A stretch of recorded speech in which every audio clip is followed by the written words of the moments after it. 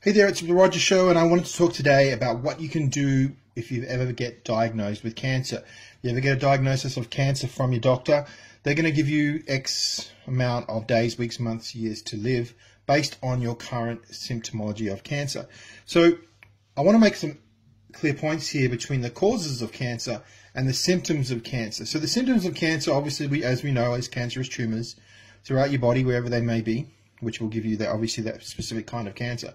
And I want to talk to you about, obviously, with modern medical allopathic medicine, their standard treatment is chemotherapy. And that is dealing with the, the, the symptoms of cancer, which is what we also know as systemic acidosis from Dr. Robert Morse. But the, the symptoms of cancer is obviously the cancerous tumor.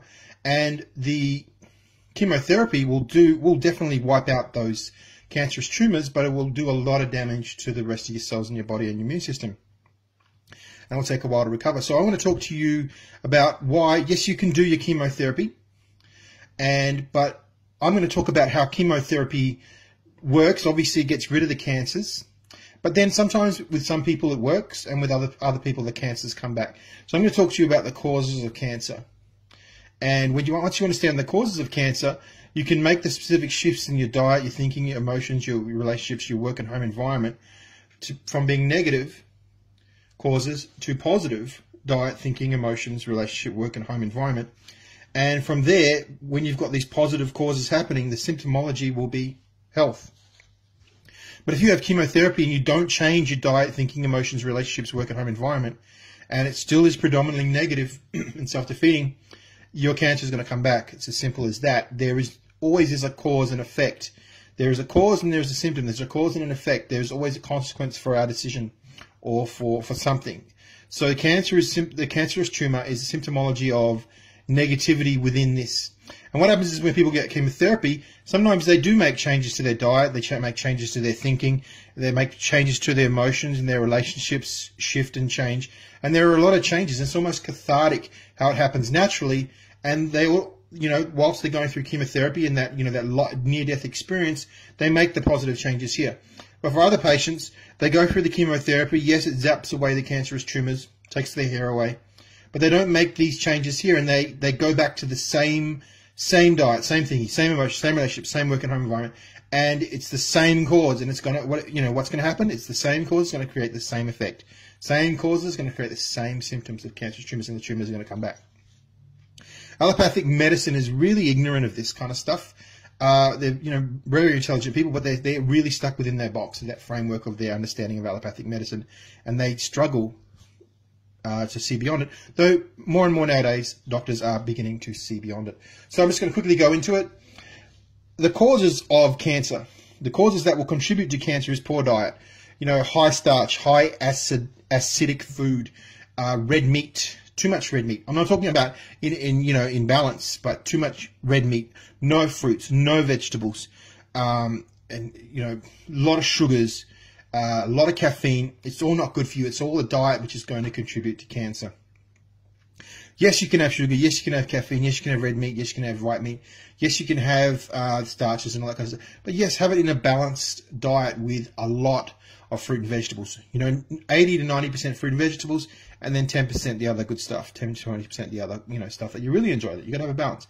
You're thinking, if you're negative thinking, you've got some negative thinking about yourself, about life in general. It, it, what that does is shuts down your HPA axis, and I talked about that quite a lot. You can go back to my other videos to learn about that.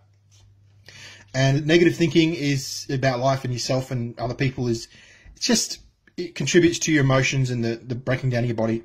It's not good for you. Negative emotions anger, fear, worry, doubt, resentment, judging, unforgiveness, sadness, lust, anger, anxiety, competition, hostility, guilt, shame, and depression. I've got them written on the wall. They're not good. They activate your HPA axis, your hypothalamus, pituitary, adrenal axis. They make you sick. Not good. Relationships. If your relationships are negative, you know, you're in a negative relationship where you're arguing a lot, you're fighting a lot, there's a lot of negativity, or you're divorced or broken up and you still got a lot of anger and negativity towards your spouse, that's going to create negative emotions negative thinking, which is going to negatively impact your body.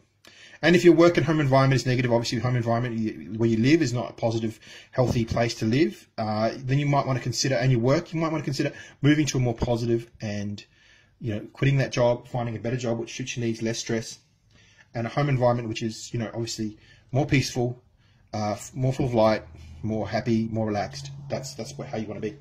Okay, and so once you make those shifts to positive causes, where you have a really great diet, 89% veggies as mentioned, and uh, fruit and veggies, your positive thinking, you kind of see the best in you know situations. You force yourself to focus on the positive, even though you know it may not be your natural instinct, but focus on the positive. And your emotions, you want to you dwell more in the land of happiness. You focus more on happiness, on peace, forgiveness, joy, inspiration, oneness, consciousness, love, trust, empowerment, knowingness, all those kind of really cool groovy emotions. You Notice as I say them, they've got such a light feel as compared compared to the negative emotions. Um, and your relationships, you know, obviously start communicating more, you know, have that time to communicate, understand each other, bring the love back and the peace back into the relationships is really going to help you recover. Positive cause and your work and home environment. Get those happening positively. Bam, you're going to get well. You, you can either get, yes, get your chemotherapy if that's what the doctors advise. Many whole people in the holistic field, they go see holistic practitioners. They go on a massive fast for 40 days. Only have grapes and lemon juice or whatever it is, pure fruit juices. They massively overhaul their thinking, their emotions. They, they work on their baggage. They dig deep. They look at the look at these the relationships and work and home environment, and they massively change those. So people in the holistic field all over the world, uh, you know, change these, and they don't even get the chemotherapy, and yes, they get well. And there are people who get the chemotherapy and they do all this as well, and yes, they get well. So this is what you want to do. Don't panic. Know what's causing it. It's not a boogeyman. It's not a monster. Cancer is just systemic acidosis. Change change your life, and you will heal. This is the Roger Show. Thanks for tuning in. Have an awesome day.